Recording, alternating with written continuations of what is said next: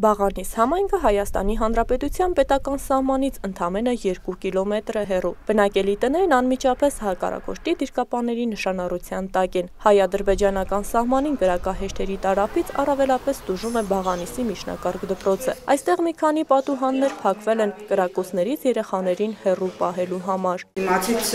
դիրքերը երևում են ադրբեջանցիների, որ նշանառության տակ էր։ Այդ պատճառով փակեցին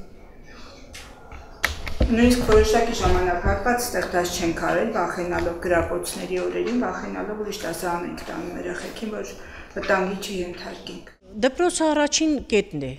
գյուղի, գյուղի այս ծայրն է ճշնամուց ամենամոտիկ։ Իհարկե հաճախ է դառնում, բայց ավելի շատ դպրոցի վրայով կրակոցները դեպի գյուղ է գնում։ Հա։ Իսկ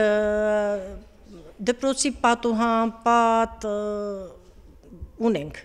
որ ապակիներն են ջարդվել, վերանորոգել ենք, որ պատնեցակել ընկել սենյակ եւ այլն, այդպիսի դեպքեր եղել են մի քանի անգամ։ Կարելի ասել մեծ համար, դա արդեն սովորական է, դե բնականաբար եթե ապրում ենք սահմանում, դե կրակոցներ մենք լսում ենք ամեն օր։ Ու եթե եղել է դեպքեր եւ որ դպրոցից ենք տուն գնում այդ ժամանակ են կրակում, մենք գիտենք ինչ պետք է անենք, ինչպես պաշտպանենք, որտեղ գնանք։ Ու եթե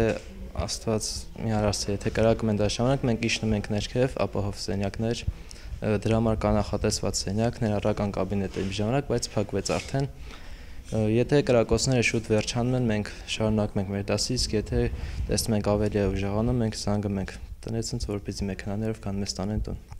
Եվ թաքնվենք նկուղներում, որպեսզի պաշտպանենք մեծ զենքերից։ Ինչպես Բաղանիսում, այնպես էլ սահմանային մյուս բնակավայրերում դպրոցները մշտապես գտնվում են հակառակորդի նշանառության տակ։ Այս դիրքերում դպրոցները կառուցվել են խորհրդային տարիներին, երբ պետական սահմաններում խաղաղություն էր, երկու երկրների բնակիչները հաղորդակցվում էին միմյանց հետ։ Եթե դպրոցի 100 աշակերտներն ու 35 աշխատակիցները կարողանում են մի կերպ տեղավորվել կշտոջախի ապաստարաններում, ապա բնակելի տներում պատկերն այլ է։ 15 հատ մի գիշերվա մեջ կրակեցի։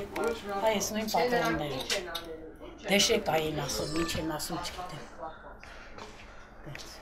Բա ոնց է պաշտպանվում, չգիտեմ, այս պատը օգնում է պաշտպանվել։ Այս պատը էլի կպահի մի քիչ էլի, դե սենց պատրոններին կպահի, բայց եթե մեծ զենքից կրակեն, ոչ մի բան ստեղ պաշտպանելու վարիանտ չկա։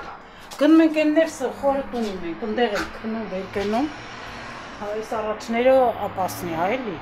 պատերը բարակա, այդ տենց էլ չգիտեմ։ Բաղանիսցիները նշում են, ապրիլյան դեպքերից հետո գրեթե կրակոցներ չեն հնչում։ Մեկ-մեկ ինքնաձիգից են կրակում, բայց դա մեծ վտանգ չի ներկայացնում։ Թեև մարդկային զոհեր չեն եղել գյուղում, սակայն նյութական վնասն է մեծ։ Հիմնականում տները, գոմերն ու ավտոմեքենաներն են կրակի թիրախ դառնում։ Անցյալ տարի ժամանակ ահավոր էր կրակոցները